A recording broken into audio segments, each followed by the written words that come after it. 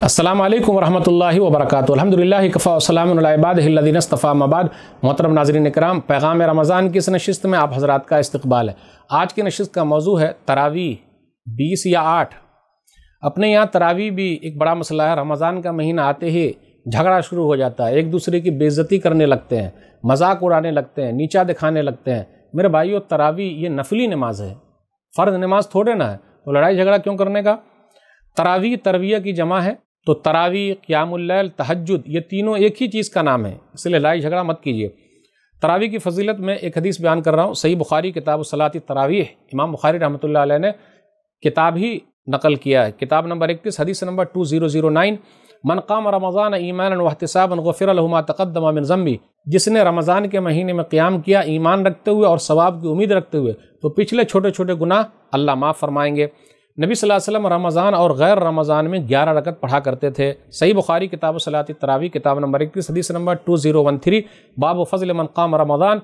अबू सलमा बिन अब्दुलरहमान बयान करते हैं कि उन्होंने आयशा रज़ी तला से पूछा उमुलमिन से पूछा कई फ़कान सलातरसूल वसल्लम फ़ी रमज़ान? तो वह कहती है, माँ कान रसूल वसल्लम यजीद फ़ी रमज़ान वला फ़ी गैरी अला अहदा अशर रका युसली अरबान फ़ला तसल हुसन हिन्ना वतूल हिन्ना सुम्मा युसली अरबान फ़ला तसल हुसन वतूल हिन्ना सुम्मा युसली सलासन कि नबी वसल्लम रमज़ान में कैसे नमाज़ पढ़ते थे? तो वो कहती हैं कि रमज़ान और गैर रमज़ान में ग्यारह रकत पढ़ते। चार रकत पढ़ते, कितनी अच्छी पढ़ते और कितनी लंबी पढ़ते? मत पूछो। फिर चार रकत पढ़ते, कितनी अच्छी पढ़ते और कितनी लंबी पढ़ते? मत पूछो। सुम्मा युसली सलासन, फिर तीन रकत पढ़ते। कुछ भाइयों ने कहा कि नबी सल्लल्लाहु अलैहि वसल्लम बीस रकत पढ़ते थे। दलील क्या है? हाफिज़ इबन अब्दुल बर अपनी किताब तमहीन में कहते हैं, जिल नंबर आठ, सफ़ा नंबर वन वन फाइव में अब्दुल्ला बिन अब्बास रज़ी तु से रवायत अन्ना रसूल वसल्लम कान युसली फ़ी रमज़ान इशरी रका वलवित्र के नबी अलैहि वसल्लम रमज़ान में बीस रकत पढ़ते और वितर पढ़ते।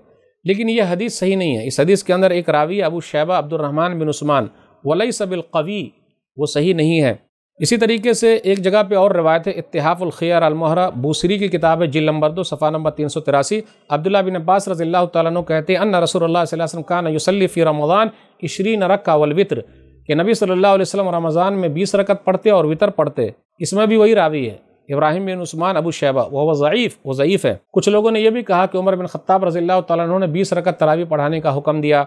आइए वो रिवायत कहाँ मत्ता इमाम मालिक किताबुसला जिल नंबर एक, सफ़ा नंबर एक सौ पंद्रह, हदीस नंबर पाँच, ये हदीस मुनक़ है, रिवायत सही नहीं है। इमाम मालिक रहमत बयान फरमाते हैं, यजीद बिन रूमान के ज़रिए, उनका कहना यह है कानन्ना से यकूमून फ़ी ज़मान उमर बिन ख़त्ताब, फ़ी रमज़ान बसलासी व इशरी रखा कि लोग जो हैं, वो उमर बिन ख़त्ताब रज़ी तु के ज़माने में ट्वेंटी थ्री रकत पढ़ते थे।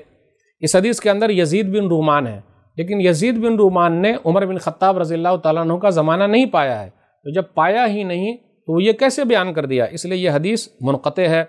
तर्जुमा number seven seven four zero के अंदर है। सिक़तुन मिनल खामिसा। कि ये पाँचवें दर्जे के हैं सिक्का है। और 130 हिजरी में वफ़ात पाई है। अबू हुरैरा रज़ी तु से ये मुरसल रिवायत करते हैं। कौन? यजीद बिन रूमान। इसलिए ये रिवायत जो है, तेईस रकत वाली ये सही नहीं है। मुत्ता इमाम मालिक के अंदर रिवायत है कि उमर बिन ख़त्ताब रज़ी तु उबई बिन काब और तमीम दारी रज़ी तु को ग्यारह रकत पढ़ाने का हुक्म दिया और ये सही रवायत है। मुत्ता इमाम मालिक किताबुसला बाब माजा फ़ी क़ियाम रमज़ान, हदीस नंबर थ्री ज़ीरो टू, सही रवायत है।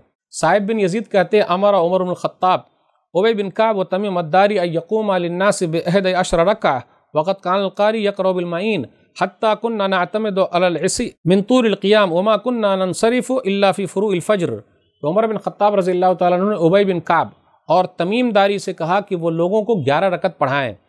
और कारी लोग, मईन, ये सूरा की आयतों के नाम का ज़िक्र है। पढ़ते यहाँ तक कि हम लोग लाठी पर अपना टेक लगा लेते थे। फजर के करीब करीब हम लोग मस्जिद से लौट कर जाते थे। तो नाजरीन कराम, आठ रकत नबी सल्लल्लाहु अलैहि वसल्लम साबित है। अल्लाह के वास्ते मुनाजरा मत कीजिए। बीस रकत पढ़ने वाले, आठ रकत पढ़ने वाले को बुरा भला न कहे, गाली बात न दे। और आठ रकत से ज़्यादा जो लोग पढ़ते हैं, वो आठ रकत पढ़ने वाले उन लोगों को बुरा भला न कहे, गाली बात न दे। सल्फ़ सालहीन से मिला है कि वो लोग बीस रकत, तेईस रकत, यहाँ तक के चालीस रकत, अड़तालीस रकत वगैरह पढ़ा करते थे। कुछ लोग कहते हैं कि हरमैन शरीफैन, मक्का और मदीना के अंदर भी तो बीस रकत है, इसलिए हर जगह बीस रकत होनी चाहिए। अब उसके लिए बड़ा मसला है। आप गौर कीजिए, मक्का और मदीना के अंदर तो आमीन भी है अरफ़ायदैन भी है, और दो इमाम साहब दस दस रकत करके पढ़ाते हैं।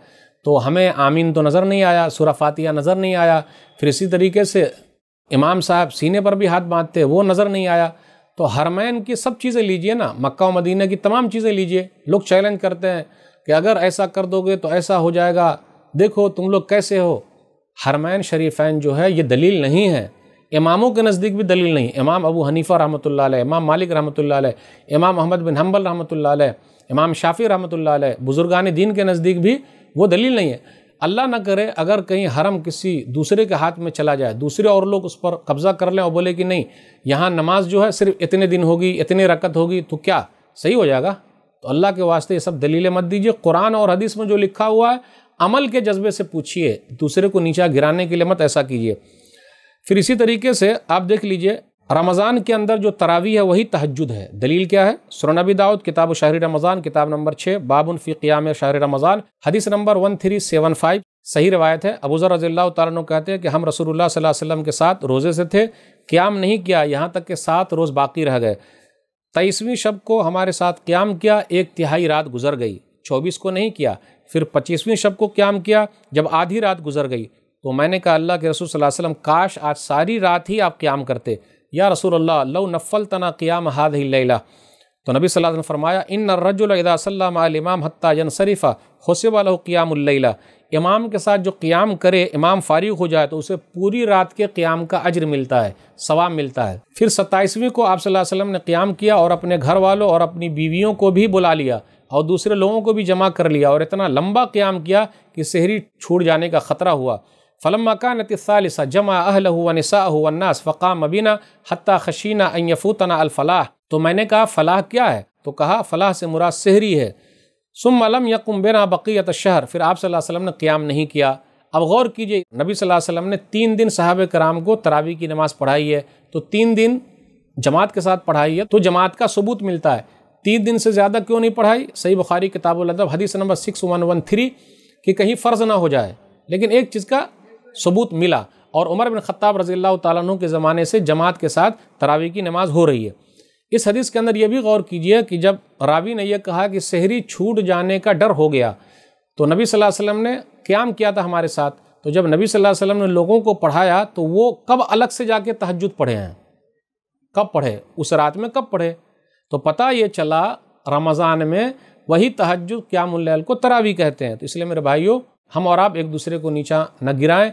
अल्लाह ताला हम लोग किताब सुन्नत पर चलने की तोफ़ी दामीन वसलम वरहमल वर्का अलबिर की सारी एक्टिविटीज़ आप लोगों ही के ताउन से चलती आ रही है। इस लॉकडाउन में हम आपके पास तो नहीं पहुँच सकते, लेकिन आप अपनी जक़ात व सदकात हम तक ऑनलाइन पहुँचा सकते हैं। सपोर्ट अलबिर।